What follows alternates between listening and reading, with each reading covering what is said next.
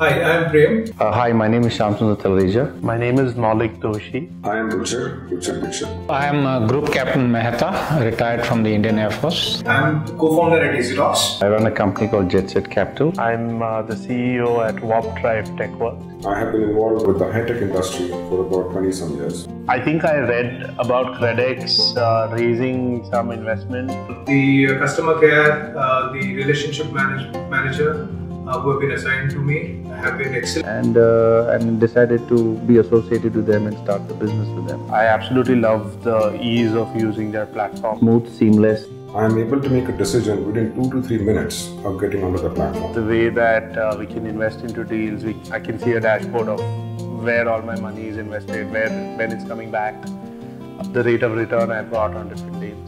And you could continue with the same, uh, even once the returns come on a particular investment, you can continue on this thing so that you have a good liquidity in your money. More or less uh, a good institution with a good record. Reputation stands the fir- you know the first thing that we look at. A few investments that I'm willing to take very high risks on. I've got a few that are on lower risk. I thought I would have in this business has been much lesser than what I thought it would be. Period of investment is much smaller, like 30, 60, 90 days, and uh, your money doesn't get locked up for very long. And if it's a listed company, I look at their performance on the stock market.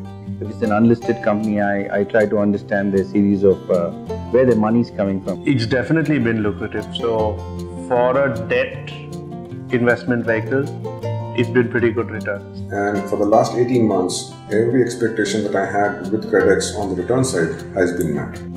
And uh, when I look at uh, different investment choices, I tend to compare it to uh, other saving instruments like FD, uh, postal saving bonds, and uh, debentures. Much better than the fixed deposits and uh, other kind of investments, and they've been quite safe. The returns are higher than the market average. And the risk versus reward of this asset class and what KredX does to reduce the risk versus reward ratio has been brilliant so far. Well, KredX has been offering us a whole bouquet of uh, investment, uh, invoice discounting uh, uh, options, and it's really a new asset class. the uh, customer care, uh, the relationship manage- manager uh, who have been assigned to me have been excellent in terms of uh, responses to all my queries. There were some initial uh, queries uh, where I wherein I was not clear about my investments, and they have been uh, they have provided me all the answers, uh, which have clarified all the doubts. I've got a very tight working relationship with the relationship manager from KredX. We all have a dedicated RM to us.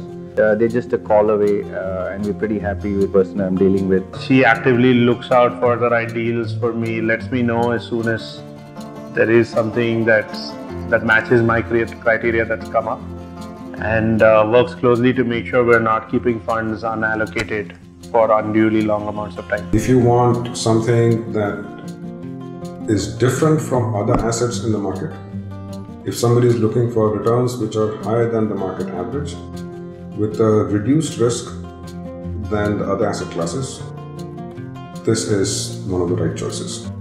Would I recommend KredX to others? Absolutely yes. To uh, my family members and friends, some of them have already onboarded. Whenever I have somebody asking me for investment opportunities, I certainly uh, recommend KredX. Uh, a lot of them are also considering to become vendors and take advantage of uh, how you're able to get this aggregated bill discounting in one place. So I do actively recommend it, and I think I will continue to.